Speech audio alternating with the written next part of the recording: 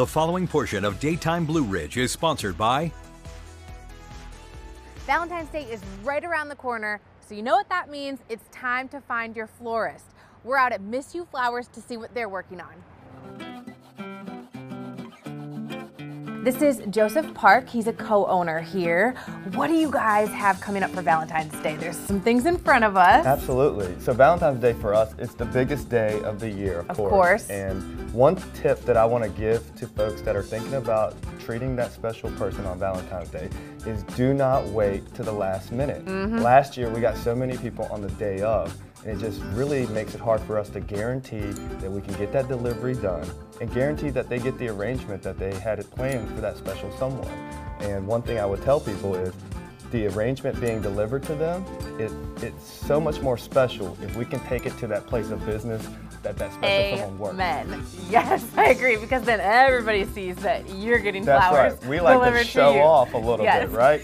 So this is literally a mom and pop shop, right? Literally, yes. Mom and dad are in the back. and you guys have been around for how long? So, mom and dad have been in the floral business for 30 years.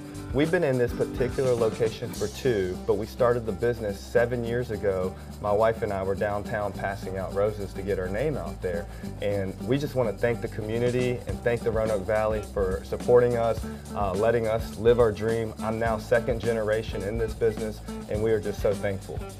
So after you get your bouquet on Valentine's Day, obviously you want to preserve it as long as possible. So Iris Park, she's another co-owner here.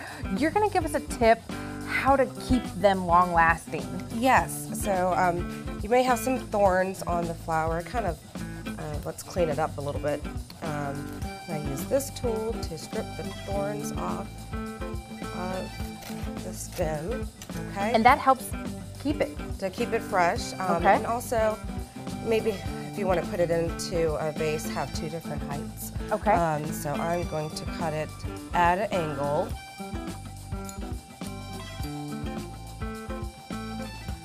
And then just place it. I have some greenery in here all ready to start. And then they're at two different, me cut that again, two different heights. There you go.